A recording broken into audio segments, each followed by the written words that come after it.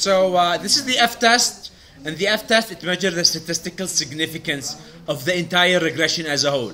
This is for the F-test. You guys remember the F-test? This is the F-test, right? So here is the number.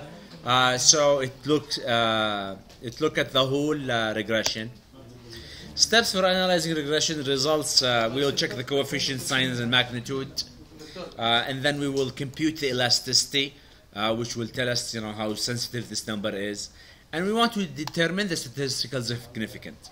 So let's look at this. Coefficient sign, this is the coefficient, and these are the signs. So this is negative, uh, this is, uh, uh, this is uh, positive, positive, positive. Uh, here, if we take uh, compute the elasticity of coefficient, which is this number, above 1 or below 1, remember? And then uh, determine statistical significance, that's this number. Okay, p-value, more or less than 5%. Okay? Textbook examples, we have the prices of pizza. Uh, this was an excellent job done by Muharram when he explained the chapter. He put all the figures and the, put it on the example, and he actually ran the statistical, and we got the results. Managers can be expected, uh, you know, prices decreases to lead to lower revenues. And also we looked at tuition and locations were not significant in the example. Uh, what are the challenges with regression? Is regression always great? No. Sometimes regression can be uh, very difficult to identify. Sometimes uh, we may have this multicollinearity. When the numbers coordinate together uh, or correlate together, then the multicollinearity uh, does not help you explain. And we looked at the example if you put tuition and income on the same table, then they correlate on a high level. Then they basically distract the regression. So what do you do? You remove one of these, or maybe use other advanced statistical methods, let's say factor analysis. And then autocorrelation when you've got some built-in uh, uh, correlation between what's your uh, uh forecasting and what's uh, uh, dependent and independent. So these are the challenges. Forecasting. Forecasting is very difficult, but not very difficult with a lot of information. Remember, uh, especially into the future. Now, if we want to see what's going to happen tomorrow, uh, some people say uh, it is difficult to say what's tomorrow. We talked the other day about the movie, right? Uh, the sell short or the uh, uh, short run, or where basically there's a lot of crisis happened in the world. People did not predict them on time, so they show you that forecasting is not always happening. Common subjects of business forecasts are uh, gross domestic product. Uh, uh, you can see if you look at Yemen uh, domestic product, you can see whether it's going up or is it going down. Uh, if you take any country, you almost can predict what's going to happen in the next future. Consumption also, how much people are spending, are they more or less uh, producer durable? So there are some things that is more feasible on a uh, on a gross domestic uh, level. On an industry level, also you can expect sales of a particular product uh, in total for the entire market. You can have an idea, and then sales of a specific product. Good uh, forecast uh, should be consistent with the other parts of the business. Uh, you base it on the knowledge of relevant past. You consider economic and political environment as well as change uh, it needs to be timely. For example, we talked about if you forecast, you know, student grades. Do you think we're going to be reliable to some extent? You know, you can be, you know, very good uh, uh, indicator. Uh, let's say for a university, do you think it's easy to predict uh, future students of further uh, courses? We know that these people will pass. We know 5% will always fail, will take the class again. We know 15% always run, flee. So we've got these numbers on averages. So uh, we looked at the example from the oil industry. You almost know it's going to decrease, and it actually decreased. So there are things that is, can be very obvious, but when you do the measurement, it gives you some sort of direction, magnitude. Uh, it kind of you know help you make a better informed decision. You know where you are, you know where you're going. So we're not talking about you forecast. You know, is tomorrow going to be raining as much as you know? Uh, we know that in this season it's going to rain and we can forecast, you know, is it going to be, you know, more or less or the same or you see? Uh, here are some other forecast techniques, uh, expert opinion, opinion poll, surveys, uh, and uh, what happened here? And some techniques serve like uh, So, uh, opinion polls, market research, uh, surveys, economic indicators, projections, and econometrics models. Which one of these you understand the most? Which one? Opinion polls is very easy. You go, you ask people. Do you guys remember in election time, uh, people will take these random numbers, they call them by phone, they tell them, hey, who are you going to vote if, if elections were tomorrow based on all current information? Then they say yes or no, and they do this automated system. It automatically calls you, you just get it. Press one if you will vote for this, press two if you'll vote. And then they take these numbers, they get the standard error, take a number of uh, degrees of freedom, and all of these graphs, and they uh, give you the results that based on this. And they always make mistakes, you see. But on the other hand, you know, if you're a, a restaurant manager and uh, you get all of your customers says the food is bad, then you know the food is bad. Sometimes you don't really need to do the pool. Sometimes you want to see, uh, you know, uh, what is the overall perception. Or, so there's a lot of uh, good things and easy things about these. Uh, which one of these is the most difficult in your opinion? The econometrics. Econometric models, when you build a sophisticated model, you do a regression analysis and you do it a prediction. This can be an econometric model that says, uh, you know, uh, quantity equals uh, 3p plus 25p squared, and then uh, you use that to do further analysis, like what we have seen in the other chapters. Projections is what you, you know, your projections, uh, you, you kind of estimate is uh, projection. Do what? So here, when you see there is maybe a trend in the market, everyone loves. All of the people are. Uh, there's a lot of data that shows that there is a need for. So uh, projections is uh, you you can see the. Maybe a Tariq method when he says I will look at it with my eye. So that kind of maybe an example. All right, let's go through each one of these. Uh, we've got here the qualitative, and this based on judgment expressed by individuals or groups quantitative based on significant amounts of uh, data and equations. So uh, naive, uh, that's forecasting projections without explaining future trends. So here we've got some information. It's not really explaining what's happening in the future, rather of, you know, uh, uh, what is happening. Casual is explanatory. So you can use this to explain.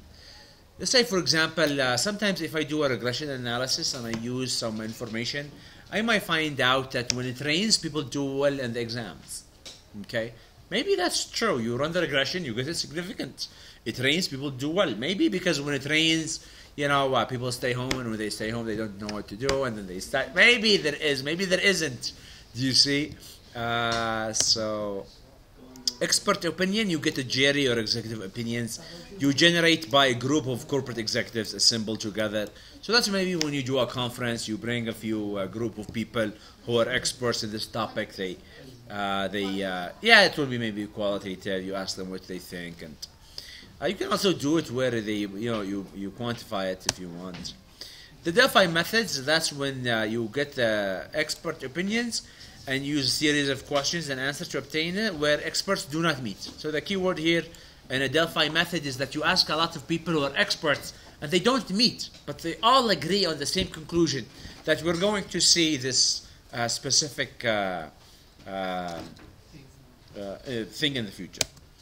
Uh, opinion polls, a sample population surveyed. Uh, you may identify changes in the trend. Your choices of samples is important. If you do an opinion poll, you want to check who are these people. You want to survey students. You want to survey females. You want to survey and then uh, where do you get these people, how you get them, where do you find them. Questions need to be simple and clear so people understand the question and they can answer. Probably, you know, when you prepare for your research class, they'll start to look into this. Uh, marketing res- market research, it's uh, closely related to opinion polling and will indicate not only why consumers, uh, but also who they are, uh, how they use the product, characteristics uh, that uh, the consumer thinks are most important in the purchasing decisions. So market research can tell you what people intend, what people like to in the future, what their plans to. Surveys of spending plans yield information about macro type data relating to the economy, like consumer intentions, Uh, we've got some of these surveys, uh, some universities, conferences, and also if you can do inventory and sales expectations. For example, uh, you know, every year we sell a million mobile phones. How much next year we're going to sell mobile phones? You know, maybe we know, uh, you know, we've always had a million. Economic indicators, we've got the leading, uh, co- uh, coincidence, and the lagging indicators. And this is a barometric method of, uh, of forecasting uh, designed to alert businesses to changes in the conditions. Uh, composite index, one indicator along, may not be very reliable, but a mix of leading indicators may be effective. So maybe if we see employment rates are increasing or decreasing, that can be an idea.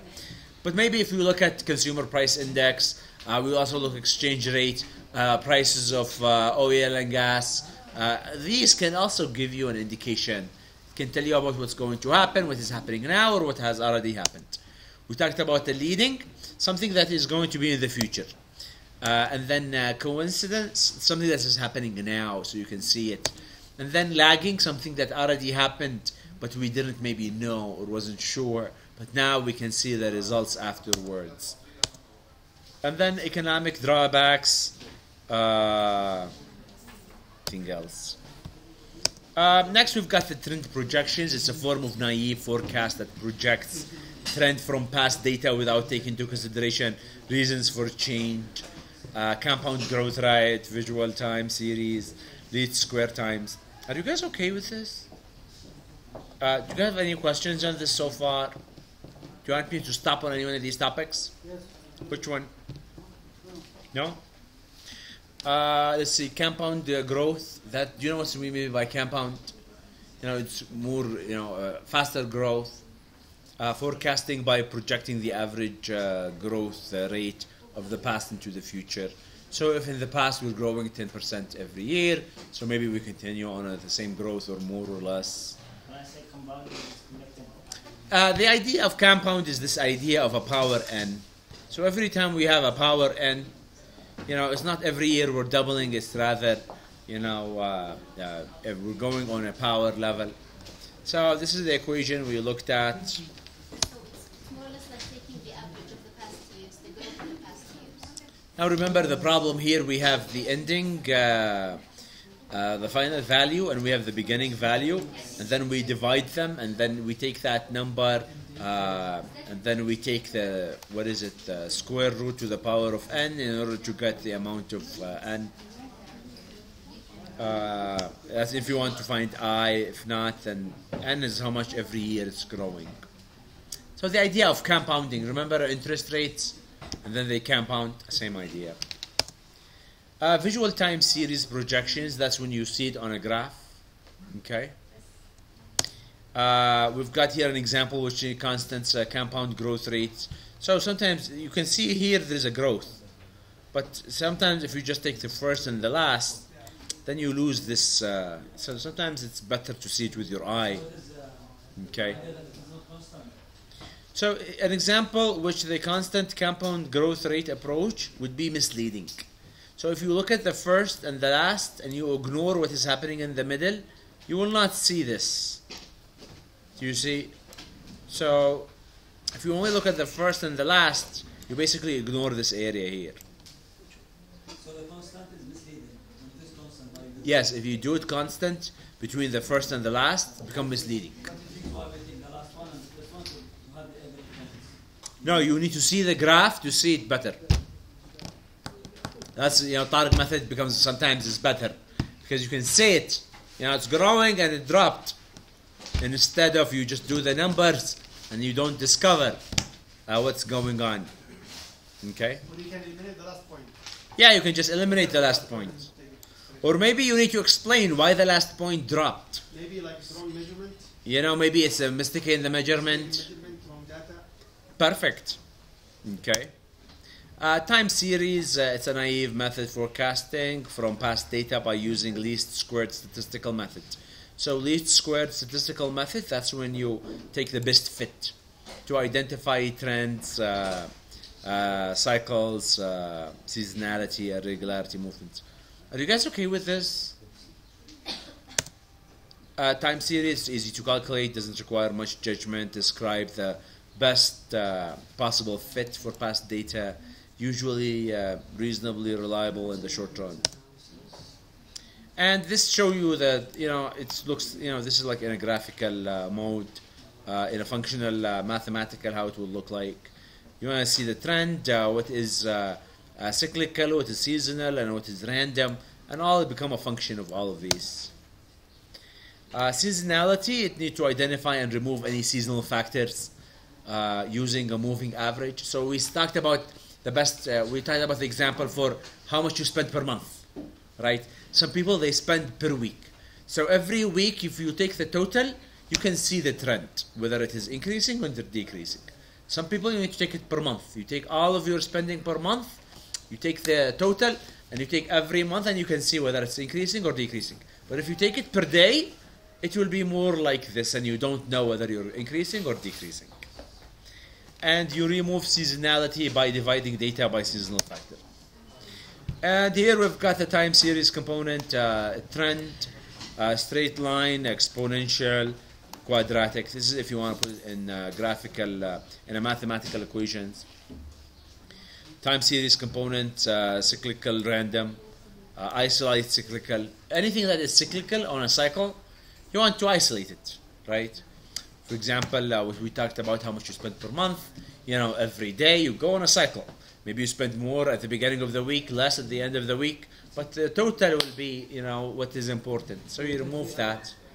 A random factor cannot be predicted and should be ignored. Anything that is random, like suddenly you have this much money you need to spend, you remove it. Uh, smoothing, you get a moving average.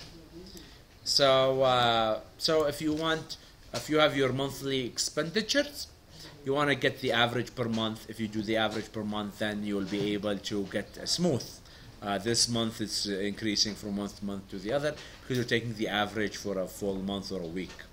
An exponential smoothing, that's if you want to take more consideration of information that is more recent compared with anything that is old. We said the example was what? you know how much money you are uh, spending per month or per week you look at it now one year before maybe before one year it is not relevant so you will not take that as serious. Before you get your current job maybe it's not very uh, important so that's not going to be part of the, stu- the study. Uh, moving average you take the number of days you divide it by the number you take the average forecasting for next period and actual value for the expected. Uh, exponential smoothing, you use this equation. Econometrics model, you build a very sophisticated model. Okay. And uh, this can be a sophisticated model where you put the variables and uh, you put them in an equation and you kind of use it to forecast the future. Maybe what we have seen in chapter 6, right? Maybe that works. Sometimes there's a model that says, uh, you know, the total government spending will equal to how much is the total revenues minus how much the total this is the summary of this chapter regression analysis primary tool used by businesses to understand demand. Why do we use regression? How much demand maybe. You can also do other things with regression. Reliable input data proper estimation evaluation uh, are needed. Uh, forecasting is important. Activity in many organizations and businesses. Forecasting is a necessity. Uh, this chapter summarized discussed six of the major forecasting techniques by a business. Uh, all right, this is the end of this chapter.